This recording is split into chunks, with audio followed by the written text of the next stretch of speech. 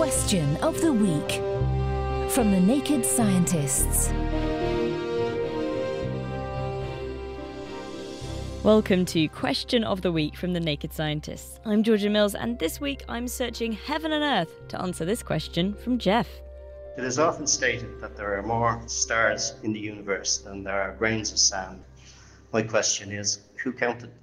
To help us crunch the numbers, we recruited Professor Michael Merrifield from the School of Physics and Astronomy at the University of Nottingham. There is some disagreement about whether there are more or less stars than grains of sand, so it must be a fairly close thing, or at least hard to estimate. But most of what you read on the internet seems to go for the more poetic answer of there being more stars than grains of sand. Sadly, I think the internet is probably wrong. The internet? Wrong? While you're all reeling from that one, Michael, please show us your working. Let's start with the stars in the visible universe. Crudely speaking, there are about 100 billion stars in a galaxy like the Milky Way and about 100 billion galaxies in the universe. So if we multiply these numbers together, we get the total number of stars in the universe, which comes out as 1 with 22 zeros after it, which is usually written in the shorthand as 10 to the 22. In fact, that misses lots of little galaxies, and a more complete census comes up with a number about a factor of 10 bigger. So we'll make it about 1 with 23 zeros after it, or 10 to the 23. So, to use a technical term, that's a shed load of stars.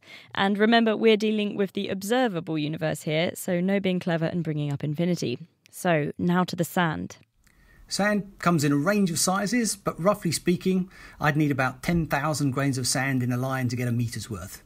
Or if I fill up a square a meter on a side, I'd need about 10,000 lines of 10,000 grains. And similarly, to fill up a cube a meter on a side takes 10,000 times 10,000 times 10,000, or 1 with 12 zeros after it, or 10 to the 12 grains of sand. So that's how many grains of sand in a cubic meter. How many cubic meters of sand are there on Earth? Let's just look at the Sahara, which is huge. It covers about 10 million square kilometres. It certainly isn't all covered in sand, but suppose it had an average sand depth of only 1 centimetre. That would then be about 10 to the 11 cubic metres of sand. And with each cubic metre containing 10 to the 12 grains of sand, that gets us to 10 to the 23 grains of sand already, which you remember is the number of stars in the visible universe. So that's with just one centimetre depth of sand in the Sahara, which certainly isn't going to be the case. And we're not counting any of the other deserts in the world, or the beaches, or the sand underground from ancient beaches, or anything else. So I'm pretty sure that there are a whole lot more grains of sand on Earth than stars in the visible universe. To return to the original question, then, no one counted them, but by using some nifty calculations, you can get a rough idea.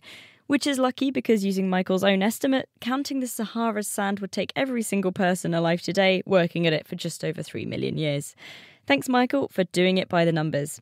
And next week, we're going to look into this question from Andrew on Twitter. Hi, guys. Do wild animals also suffer from allergies? And if so, does this occur at the same rate as in humans? What do you think? You can tweet at Naked Scientists, you can find us on Facebook, or you can join in the debate on the forum, nakedscientist.com slash forum. Till next time, goodbye.